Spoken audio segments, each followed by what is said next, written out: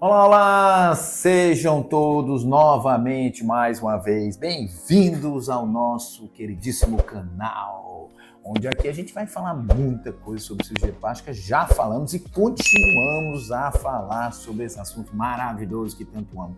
E hoje vamos falar de um assunto que todo mundo conhece e gosta, que é a prótese. A prótese hoje é a de mama. Mas, antes de tudo, não esquece de dar o like, comenta aqui no final e também compartilha para aquela sua amiga que acha que está precisando de uma prótese, ou mesmo aquelas que já operaram, mas querem saber um pouquinho mais sobre esse assunto. Então, a prótese de mama, nós temos alguns modelos no mercado que nós utilizamos, depende do caso de cada paciente.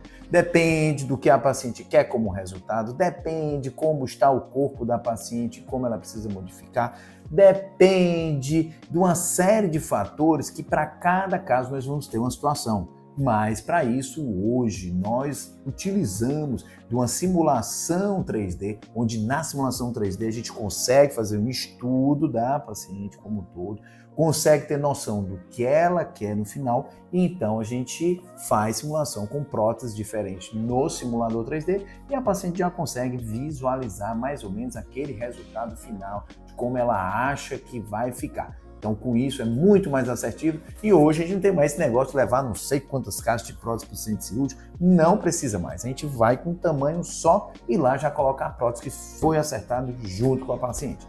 Então, nesse caso, nós temos a prótese que chama lisa, que é uma microtextura bem fininha e hoje muito bem utilizada. Tem a texturizada, que também é um modelo mais antigo de cápsula, que até hoje é muito bem utilizado, muito bem indicado. E tem também essa outra aqui, que tem uma cápsula a mais, que é poliuretano. Então, para cada situação, a gente vai indicar um tipo de prótese.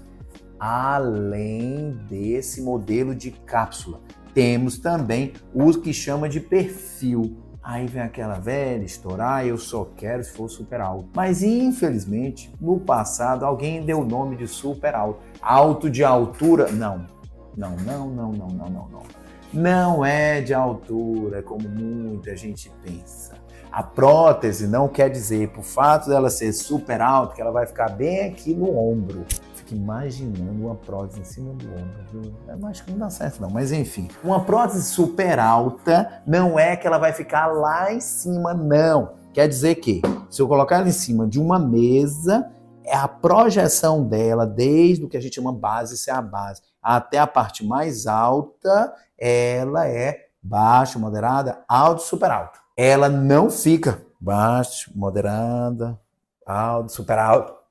Não, não é bem assim. Então, na verdade, essa projeção é quando ela está aqui, desse jeito. Aí você tem essa projeção. Então é para frente. Projeção é alta projeção, super alta projeção. Ah, é legal deixar a prótese lá na frente assim? Hum, para alguns pacientes não é interessante. Nem elas gostam de ver, nem elas querem aquele modelo, mas pensam que o super alto vai ficar lá em cima quando na verdade, como eu já falei, é uma projeção, é projeção para frente.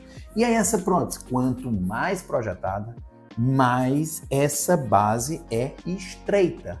Ela é mais fina, alta, super alta, alta, moderada e baixa. Mas enfim, voltando aqui, a prótese baixa, ela é interessante para alguns tórax e ela ter uma projeção boa, principalmente se a paciente já tiver uma quantidade boa de mama e se ela quiser uma naturalidade maior. E tem paciente que quer naturalidade maior? Tem. Hoje, cada vez mais, muitas pacientes procuram por mais naturalidade. Mas claro, tem aquelas que também querem bem mais artificial. Ah, doutor, quero bem marcado. Ah, basta botar uma super alta? Não. Não adianta só botar super alto, sua mama não quer dizer que ela vai ficar marcada. Ela vai ficar mais projetada.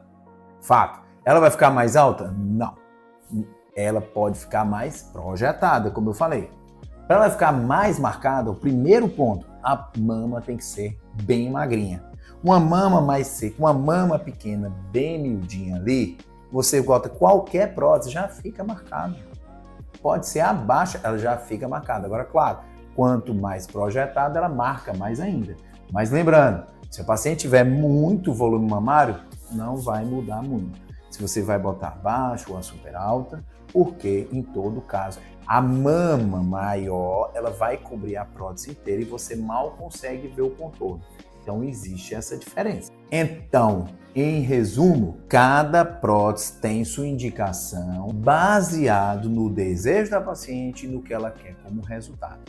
Cabe a nós cirurgiões fazer uma avaliação da paciente pré-operatória, saber o que ela almeja e aí sim a gente dá a melhor indicação acordado com a paciente para saber se é realmente aquele resultado. Gostaram do nosso vídeo? Não esquece de curtir e compartilhar.